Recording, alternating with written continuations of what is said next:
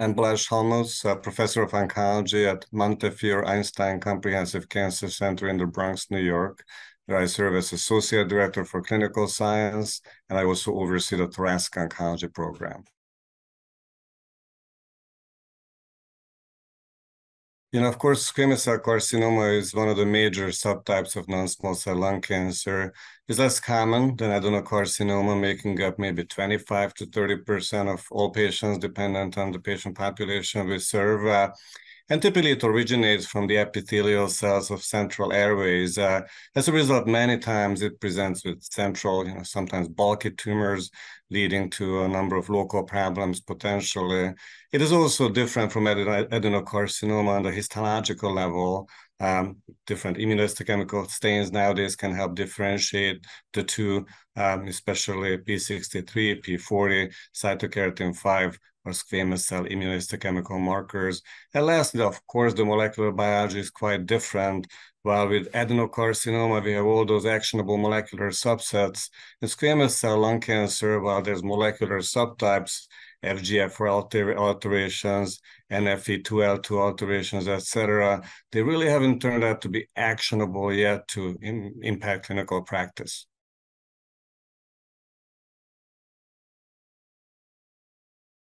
Squamous cell lung cancer, of course, generally occurs in patients with a significant smoking history or, or, some other occupational exposure. And as I mentioned, it tends to be a central tumor, many times presenting with local symptomatology due to bulky tumor, maybe invading the mediastinum, obstructing the airway, significant symptoms such as cough or chest pain, shortness of breath, Hemoptysis is quite common, and many times these tumors can cavitate, you know, make, making this even more significant, of course, leading to the contraindication of bevacizumab in upfront use uh, due to the high risk of hemoptysis. Uh, many times, you know, patients can present with hoarseness as well, re re related, for example, to recurrent laryngeal nerve palsy due to mediastinal involvement and many times recurrent chest infections related to central obstruction or those cavitating tumors that we mentioned can be part of the presentation. Um, also, hypercalcemia, so paraneoplastic syndrome, is very common in patients with squamous cell lung cancer related to PTH-RP uh, production.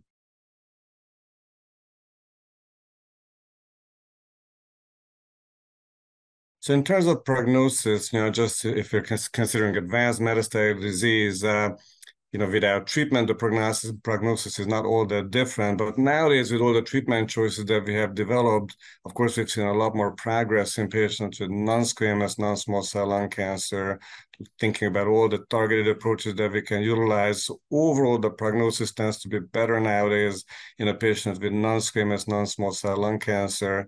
At the same time, if a tumor does not have an actionable alteration, there's not that much of a difference, subtle differences in clinical studies. It's still very important, of course, to offer the optimal treatment for both subsets of patients to improve the outcomes as much as possible with the treatment choices we have, we have today and continue to invest into clinical research so we can improve the prognosis even further in the future. Now, of course, one key element in patients with squamous cell lung cancer can be that many times these occur in patients with potentially heavy smoking exposure from the past, leading to a number of comorbidities, and also, you know, can occur quite frequently in patients who are elderly, maybe more frail, complicating treatment approaches and impacting prognosis from uh, that angle as well.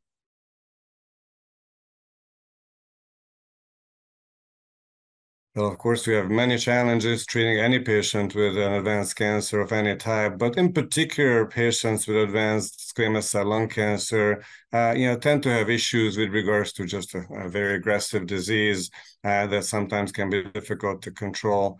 Local or systemic complications of that disease. We spoke about infections, we spoke about bleeding, spoke about hypercalcemia, of course, you know, significant weight loss, you know, frailty can result from metastatic disease.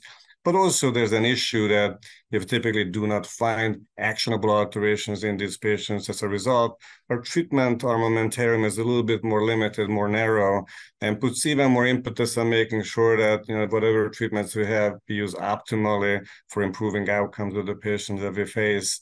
And usually the clinical trial data that, that guides our treatment decisions is somewhat on the weaker side in, in patients with squamous cell lung cancer related to a number of different issues.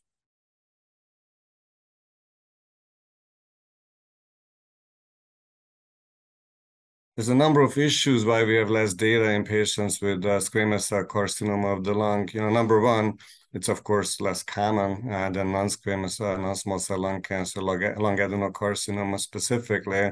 Also, there's been just a lot less excitement about all these molecularly targeted choices that have provided sort of an embarrassment of riches of options in patients with lung adenocarcinoma, as well as a very large spectrum of clinical trials that have been completed or are ongoing. Uh, so there's just a narrower path in a way for a smaller number of patients.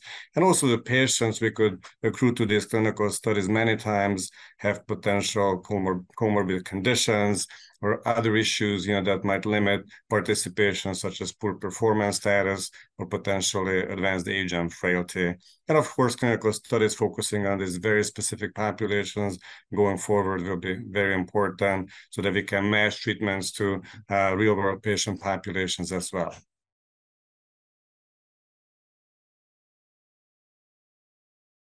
Now, this is, of course, very important. Biomarker testing, guiding treatment management is so important for us oncologists to, uh, you know, know and and, and implement. And uh, you know, in non-small cell lung cancer, this is a critical aspect of upfront management. And what is absolutely clear is that PD-L1 biomarker testing, immune biomarker testing to guide the optimal use of immunotherapy is an absolute must for all of our patients with advanced non-small cell lung cancer.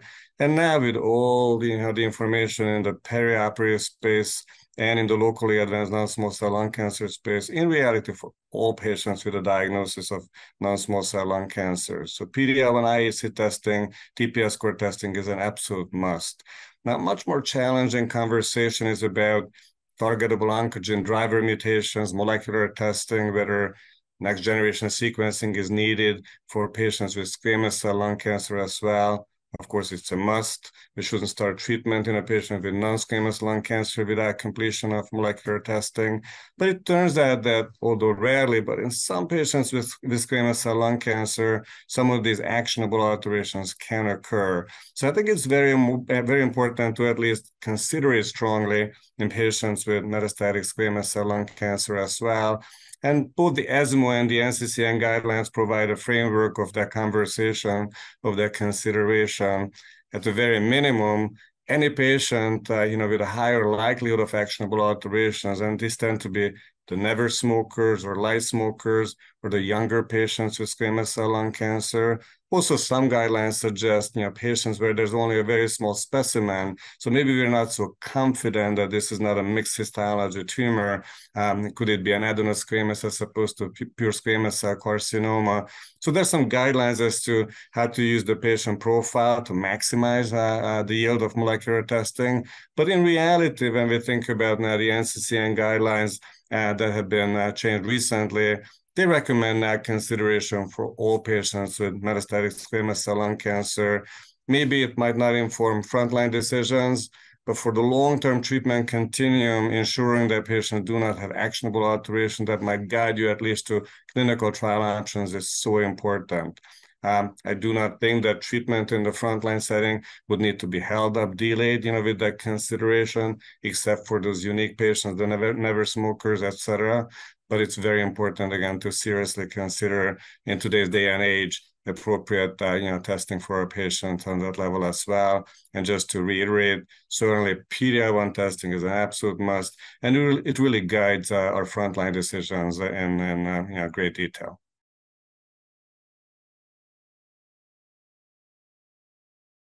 Uh, fortunately, we've seen great advances just the last couple of years, you know, since the era of uh, um, systemic chemotherapy, um, you know, for patients with metastatic non-small cell lung cancer. And for both non-squamous and squamous cell lung cancer, uh, the frontline treatment choices are biomarker driven for squamous cell lung cancer, mainly driven by assessing PD-L1 expression uh, through uh, immunohistochemistry, achieving uh, the tumor uh, TPS score.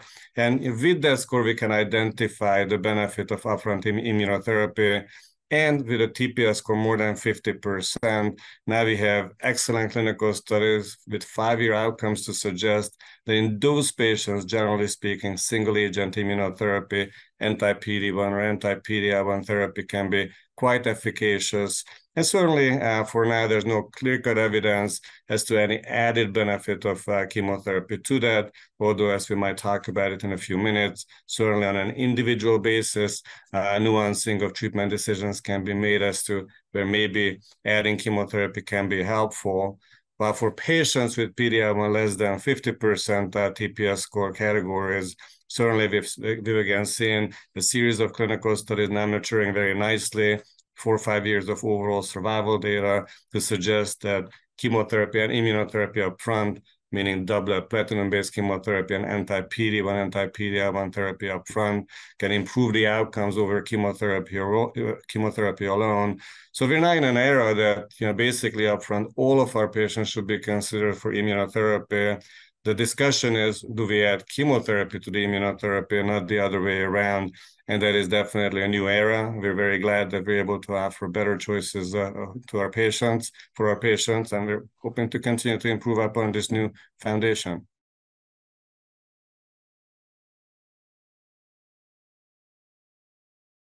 This is a very important uh, you know, consideration. And of course, we need to look at patient characteristics, you know, the patient's age, frailty, comorbidities, the patient's candidacy for upfront treatment. Is the patient a candidate for treatment at all?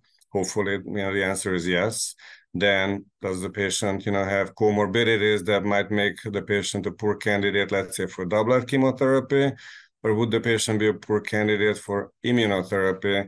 And let's just speak about the latter for just a moment. Of course, patients with baseline autoimmune disease have a higher risk of uh, side effects, immune adverse events on immunotherapies. So that's a very, very significant consideration. And we're gathering more and more data that, yes, indeed, some of those patients can safely receive immunotherapy considering the severity of that of, of that autoimmune, autoimmune disease, the potential risk of a flare of it, and also strong collaboration with our colleagues, subspecialty colleagues, managing that autoimmune disease is very important. And with that, uh, many times uh, an appropriate attempt can be made to offer the benefit of immunotherapy while managing you know, these comorbidities. Uh, of course, patient preferences, you know, come into play as well. And then data-driven and guideline-driven incorporation of immunotherapy or chemo, chemoimmunotherapy approaches. And just to reiterate, of course, PD-L1 TPS score is our best guide. High TPS score more than 50%. Most guidelines would recommend single agent immunotherapy, anti-PD-1, anti-PD-L1 immunotherapy is very appropriate. In some patients, you know, maybe we should still consider adding chemotherapy. Many clinicians would say that a patient uh, who's a non-smoker, a patient who's very symptomatic with a large tumor burden, maybe maybe uh, immunotherapy alone will not be sufficient. Um, now, for patients with TPS score less than 50%, guidelines sometimes break it down into 1 to 49% and 0%. And while there's benefit of chemoimmunotherapy over chemotherapy alone in the, the, the, large pool of patients, the benefit seems less in the TPS score zero patients and there's emerging data that at least the consideration whether some of those patients could receive even more intense therapy with the addition of an anti-CTLA-4 agent uh, could could be a, a, conversation point and a reasonable consideration for some patients. Of course, with the added anti-CTLA-4 agent, we're adding some toxicity as well to consider. Let me also highlight that there's some particular molecular subsets, uh, you know, where there's poor outcome with uh, chemoimmunotherapy alone, and there's a lot of experimental approaches to try to identify ways to improve the outcomes for those. So this is a, a very important question, but uh, can can be a complicated one because in reality, these anti-PD-1, anti-PD-L1 agents are not that different when we look at clinical trials data. So so many clinicians feel that they are reasonably interchangeable. Now, of course, there's a lot of other issues that come into play, though. First of all, access. Is, is the particular drug accessible in, in, in the particular country um, uh, at all? And secondly, you know, what is the cost of the agent? If there's some cost savings using agent one versus agent two, that can be a significant consideration. And lastly, but you know, for the patient, maybe most importantly, convenience, you know, plays into this as well. The differences as to administration schedules of uh, uh, these drugs. And I have to say that these will also change over time as different versions, subcutaneous versions are being developed. So there's a lot of nuancing as to you know which might be the best choice. But in reality, we're very fortunate that we have very strong data with a number of these agents suggesting similar improved outcomes, both in terms of single agent immunotherapy as well as combination regimens. So we have a number of excellent choices to pick from.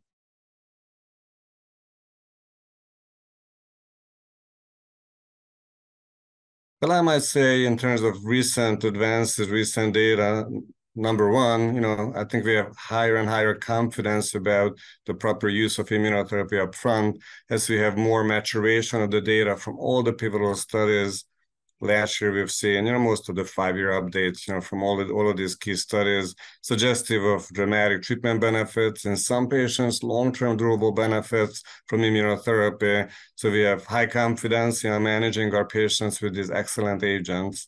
Number two, I think you know what we've seen last year is a little bit less excitement as to novel agents, you know, for patients with squamous cell lung cancer. Just as a highlight, we've seen some antibody drug conjugate data at ESMO 2023 with you know significant benefits from non-squamous but potential detriment for squamous cell patients, which I think makes us you know make sure that they're using the current agents in the optimal manner uh, until until we have more exciting agents in the future from experimental studies to help help our patients out.